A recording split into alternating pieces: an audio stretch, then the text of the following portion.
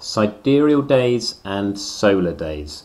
This is what I'm going to cover in this short film. Sidereal days and solar days. And I'm going to start with a sidereal day. And that's how long it takes for the Earth to spin once on its axis. And actually it takes 23 hours and 56 minutes for the Earth to turn once fully on its axis. And we can consider that or look at that by um, with this little demo here. So we've got Earth, we've got the Sun, and we've got distant stars down here. And if we consider this person with the red arrow to start with, and just have a look at where they're facing. So they're facing the distant stars over here. They're facing straight off to the right of my page. And if we start to let the Earth rotate, here it goes. It actually takes 23 hours and 56 minutes for that person to be facing straight over there again.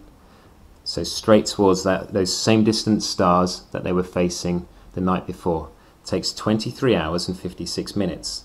And that's what we call a sidereal day. So there's some notes there to jot down for a sidereal day. One sidereal day is the time taken for the Earth to spin once on its axis, 23 hours 56 minutes. And we can work that out, that time out, by looking at the distant stars and knowing how long does it take me to face that same star that I'm looking straight over there tonight. How long would it take me to see it uh, in that same place again? And it takes 23 hours and 56 minutes. That's a sidereal day. What about solar day? So let's get back to our little demonstration here. A solar day, let's step back here, is how long it takes for us to do um, face the sun again, effectively. So if I was to consider the person here on this, um, over here, looking at this blue arrow here, and that person at this point of the day, look, they're facing directly towards the sun, straight towards the centre of the sun along that blue arrow.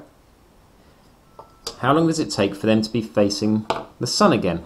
Well, you might say, well, hang on, surely that's 23 hours and 56 minutes. You've just shown me it's rotated round once and it takes 24 hours 56 minutes.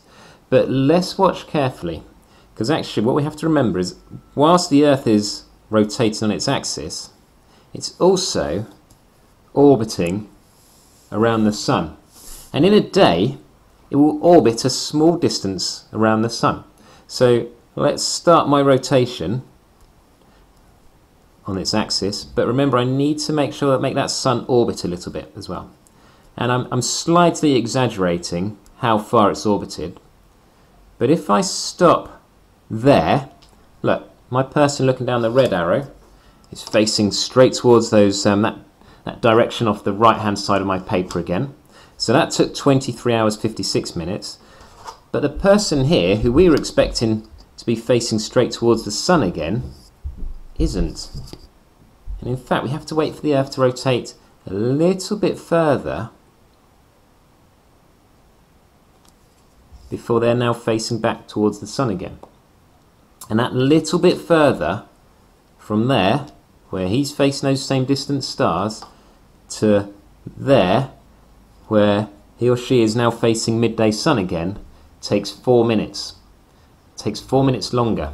Four minutes longer than 23 hours and 56 minutes is 24 hours, and that's where we get our solar day. Now, I exaggerated this movement a little bit. In fact, it's only a small bit. If you imagine, here's the whole um, orbit of the um, Earth around the Sun. It takes 365 days to go all the way around there, so it's roughly one degree a day. Really, I should only have moved it on one degree in that time, but I exaggerated a bit. And it's that little bit extra turn that it has to do for that blue arrow to face towards the centre of the sun again that takes those extra four minutes for a solar day. So a solar day, and we also call this a synodic day. Jot this down, one solar day or synodic day is 24 hours and it's four minutes longer than a sidereal day.